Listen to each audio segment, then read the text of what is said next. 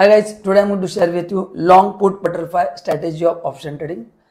Now here trader is ready to take minimum risk. So we can say this is the neutral strategy. He is bearish on the market and he is not expecting sharp rally on either side. Now let's take example to understand this. Let's say Nifty is trading at 5200. So what trader will do?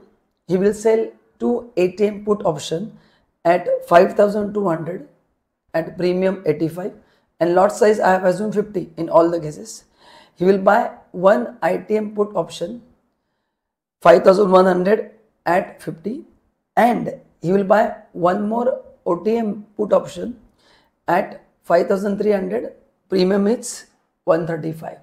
Now in this case his total investment will be 750 rupees. I have shown calculation above. Now let's say Nifty closes at 5000 nifty closes at 5000 he'll make profit of 750 you can see calculation above. And if nifty closes at 5200 he'll make profit of 4250 so in simple words this is a very neutral strategy where risk is also limited and reward is also limited. I hope you like this reel. Please save the reel and please follow me for more tax updates. Thank you so much